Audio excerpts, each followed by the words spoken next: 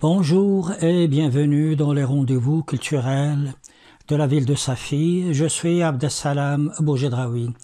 Je continue avec vous notre voyage à travers l'utilitarisme et à travers ce sacré 19e siècle.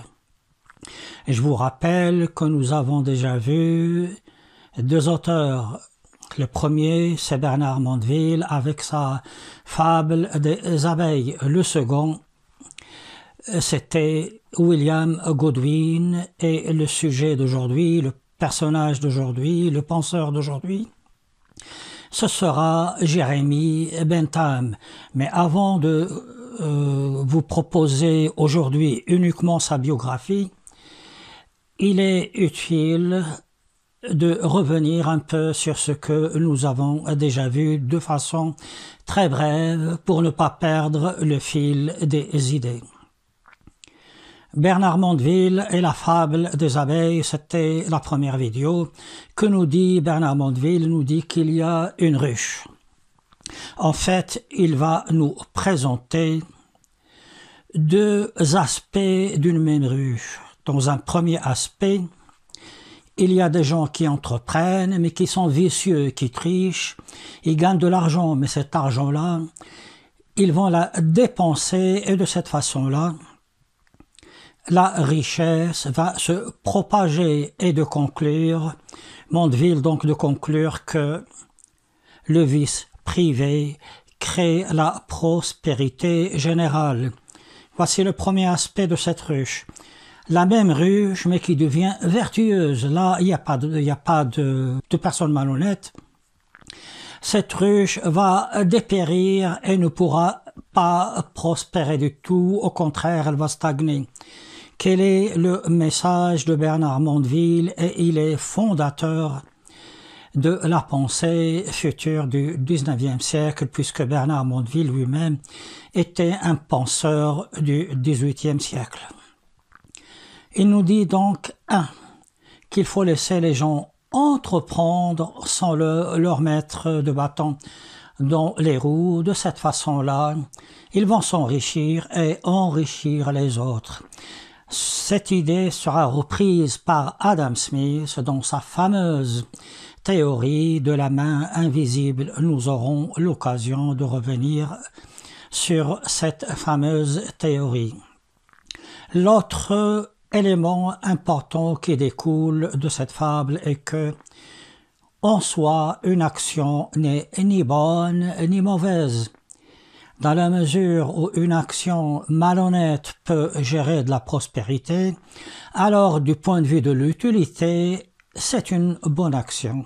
Il y a aussi autre chose que l'on peut dégager de cette fable des abeilles, c'est l'opposition de deux types de morale. Une morale qui repose sur une certaine vertu et une morale qui repose avant tout sur l'utilité. Après Bernard Mondeville, nous avons vu William Godwin. Que nous dit William Godwin? Il a dit beaucoup de choses.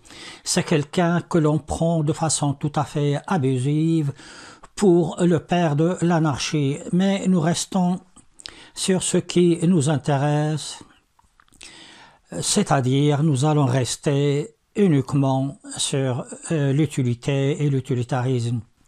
Dans son livre Justice politique, William Godwin nous dit que l'argent ne doit être que là où elle est utile. Si par exemple j'emprunte de l'argent à quelqu'un et que cet argent, j'arrive à en faire un très bon usage bénéfique pour beaucoup, de, pour beaucoup de personnes, alors je ne suis pas tenu de rembourser, par exemple, cet argent. Autre exemple, c'est celui de la promesse. William Godwin dit qu'il ne faut pas faire de promesses parce que si on fait une promesse, nous allons être accaparés, tout notre mental sera accaparé par cette promesse et nous allons rester sur place, nous n'allons pas évoluer. Et il nous dit, mais si vous avez fait une promesse et que le fait de ne pas la tenir va procurer un bien général, alors vous êtes tenu de ne pas tenir cette promesse.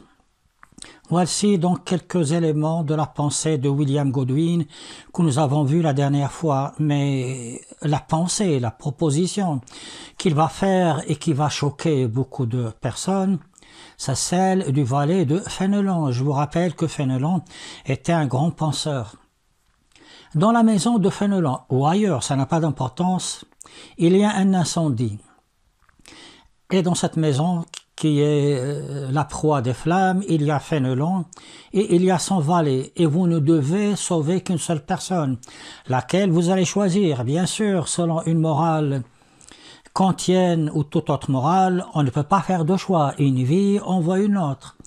Et ce, selon William Godwin, et là nous entrons dans l'utilitarisme, il dit qu'il faudrait que l'on choisisse impérativement Fénelon parce que Fénelon, lui, est utile pour une très grande partie des citoyens ou de l'humanité du fait des livres qu'il a écrits. Voici donc ce que nous avons vu au cours des deux dernières vidéos. Nous enchaînons aujourd'hui avec Jérémie Bentham. C'est un Anglais qui est né en 1748 et qui meurt en 1832 à l'âge de 80, 84 euh, ans, donc une vie qui est assez longue. Dans cette vie, il va traverser, il va rencontrer la Révolution française. Du reste, euh, quelques révolutionnaires, les révolutionnaires, vont quelque part l'adopter et faire de lui un citoyen français. Jérémie Bentham est né dans une famille qui est très riche, son père ayant fait fortune dans l'immobilier et dans les biens fonciers. Il va lui donner une éducation très stricte, ainsi comme euh, son compatriote William Godwin. Il aura quelque part une enfance gâchée à trois ans au lieu d'étudier les choses de son âge, il va lire un traité sur le commerce. Vous voyez dans quel passe-temps hein, pour ce jeu, pour ce, cet enfant quoi, c'est encore un bébé quelque part. Quand il arrive à l'âge de 4 ans, il entame l'étude du grec et du latin, c'est pour vous dire. À l'âge de 5 ans, il joue du violon, mais pas n'importe quelle musique, c'est de la musique de chambre de Joseph Haydn, entre autres. Et il avance petit à petit dans l'âge. À l'âge de 15 ans, il entre à l'université. Seulement, il y a une clause, une charte qui dit que vous devez signer un papier d'allégeance à l'église anglicane. Alors, l'Église anglicane, c'est une grande partie de l'histoire d'Angleterre. Je pense qu'il serait utile que je vous fasse un exposé sur euh, cette théologie, euh, religion, théologie bien particulière. Il refuse dans un premier temps de signer parce qu'il pense que c'est contre euh, sa volonté, que c'est contre sa conscience. Mais il comprend que s'il ne la signe pas, il ne peut pas rentrer dans l'université. Alors il la signe. Moi je crois qu'à partir de cet instant-là, beaucoup de choses vont germer dans sa tête. Il va, il va commencer à se poser des questions sur l'éducation qu'il a eue. En quoi est-ce que c'est utile d'étudier le grec et le latin? Les prémices de l'utilitarisme sont en train de germer dans sa tête de plus avec cette clause euh, d'allégeance à l'Église anglicane, il se pose la question quelque part de l'hypocrisie qu'il y a pour entrer dans une université. Il entre donc à 15 ans à l'université, à 16 ans, il est déjà diplômé, il est juriste. Euh, c'est-à-dire que c'est un enfant qui est très précoce parce que c'est à 15, euh, lui il finit au moment où les autres vont commencer leurs études. Il s'installe donc en tant que juriste, mais un juriste qui ne va pas faire fortune, qui va même devenir miséreux. Pourquoi? Parce que quand il y a des plaignants qui viennent le voir, il les réconcilie. Il ne voit pas l'utilité, nous sommes toujours dans l'utilitarisme, d'aller devant un juge. Et voilà donc euh, notre Jérémie Bentham qui est désargenté puisqu'il ne plaide pas. Il quitte donc euh, tout ce qui est tout ce qui est en rapport avec la magistrature pour commencer une carrière d'écrivain. Mais surtout, il va prendre connaissance des auteurs français. Vous savez, les Lumières, c'est quelque chose qui ne va pas seulement se propager. Je parle bien sûr des écrivains, des penseurs des Lumières. Euh, ça ne va pas seulement être confiné au niveau de la France, ça va aller dans l'Europe et même au-delà de l'Europe et ainsi. William Godwin va prendre connaissance de la pensée euh, de Maupertuis et de la pensée surtout de Helvétius. Alors, euh, que dit Helvétius J'en ai déjà parlé. Helvétius porte dans sa pensée les germes et les prémices de l'utilitarisme. Il nous parle et il nous dit qu'un enfant, quand il naît, il est neutre. C'est par le hasard et le déterminisme du hasard qu'il va naître dans une telle famille. Si une famille est riche et éduquée, il aura une bonne éducation.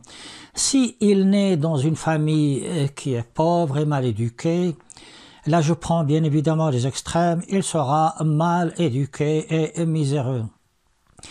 Et Helvétius de continuer de nous dire que ce déterminisme par le hasard va faire qu'il va fréquenter une école particulière, par la suite des amis particuliers.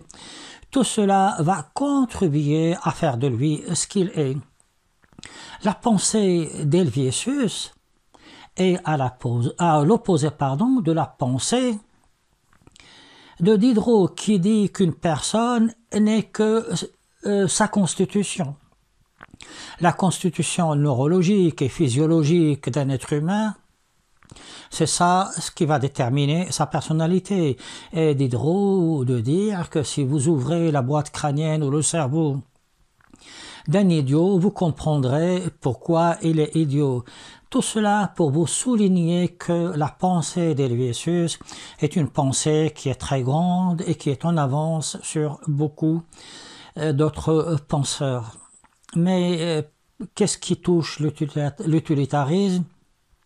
C'est le fait qu'Helvétius va se poser des, questions sur l'utilité d'enseigner certaines matières telles que le grec et le latin et de remplacer par des choses qui sont beaucoup plus, plus pratiques.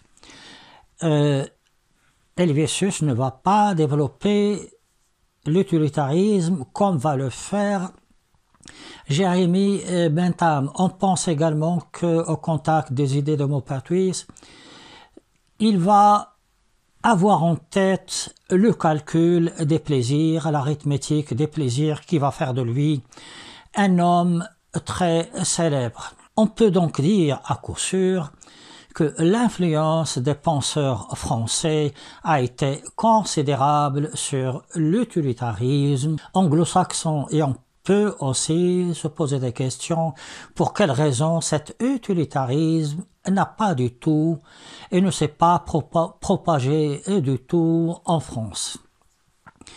On revient donc à notre brave Jérémie euh, Bentham qui a déjà en tête les grands schémas euh, de l'utilitarisme. Il faut savoir qu'au cours de sa vie, Bentham va évoluer, cela se voit dans ses écrits.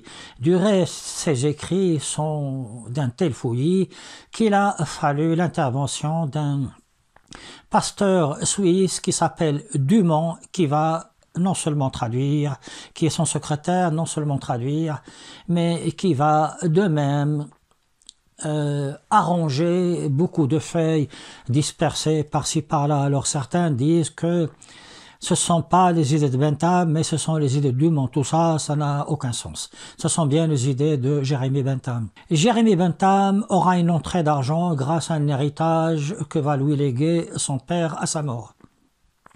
Il entame voyage avec son frère donc déjà à travers l'Europe, mais il va aller jusqu'en Russie. Là, quand il arrive en Russie, il trouve qu'il y a beaucoup de bouleversements sociaux et il va aussi prendre connaissance des prisons.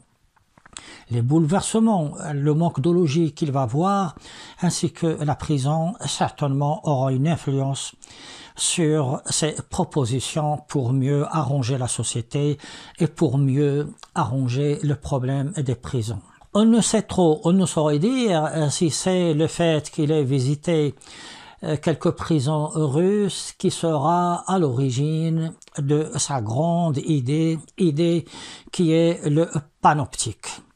Quand il revient en Angleterre, il va proposer à un architecte quelques idées pour lui dessiner le, plan d'une prison modèle. Alors c'est une prison qui est conçue de telle façon que à partir d'un endroit, on peut surveiller tous les prisonniers. Pan veut dire partout. Optique, ça se passe de commentaire, ça veut dire euh, quelque chose qui est en rapport avec la vision. Et euh, il va proposer ce, ce, plan, cette architecture de prison au Sénat français qui va refuser. Il va la présenter aux députés anglais qui vont accepter. Mais le projet ne va pas se faire. Bentham va investir beaucoup d'argent dans le panoptique. Je reviendrai, vous savez, ne vous inquiétez pas, sur le panoptique de façon tout à fait euh, plus longue et de façon beaucoup plus précise dans une prochaine vidéo qui sera consacrée aux œuvres elles-mêmes de Jérémie Bentham. Donc ça ne va pas se faire, il perd beaucoup d'argent, mais les députés vont quand même le rembourser et l'indemniser, donc là il est quelque part quitte. Voici donc notre Jérémie Bentham qui vieillit progressivement. Il arrive aux alentours de, euh, de 70 ans, il vieillit donc. Il possède une maison et un terrain, il va le mettre à la disposition de sa commune pour construire une école qu'on appelle une école, une crestomatique. Qu'est-ce que c'est que ça? Dans cette école-là, il voudrait que l'on n'enseigne que quelque chose qui est utile, c'est-à-dire qu'il faut qu'on se débarrasse de tous les superflus, il faut qu'on se débarrasse de, de l'enseignement euh, du latin, du grec, tout ce qu'il a fait torturer quand il était enfant, de l'éducation physique, c'est pas la peine de faire du sport, lui-même n'était pas un sportif. C'était quelqu'un d'assez mince, d'assez maigre, qui n'était pas très grand, à tel point qu'on pouvait le prendre pour un nain. Et donc cette école-là qu'il va construire, il va investir beaucoup d'argent. Il euh, crée un comité de direction Malheureusement, ce projet ne va pas euh, continuer. Le comité, le comité de direction va démissionner, sera dissous, on n'en parle plus. Mais je voudrais quand même dire quelque chose concernant ces utopies là de, du panoptique et de cette école si particulière. C'est que à partir des plans de Jérémy Bentham, du panoptique, panopticon, euh, qui, est, qui est quelque chose de moderne. Hein. Je, je, vous, je reviens pas sur ça. C'est une sorte de tour où vous avez une vision sur tout ce qui se passe devant vous. Toutes les cellules sont là l'une en face de l'autre et un seul gardien peut avoir une vision de tout ce qui se passe. Nous sommes dans l'optique, euh, sans faire de jeu de mots, euh, de l'utilitarisme puisque avec le minimum, on va essayer de faire le maximum.